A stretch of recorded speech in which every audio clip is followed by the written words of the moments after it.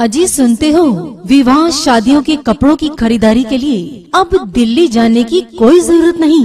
वो क्यों? क्योंकि आर पी ज्वेलर्स वालों की ओर से खुल गया विवाह शादी के कपड़ों के लिए थोक रेट का नया showroom Saloni sari emporium.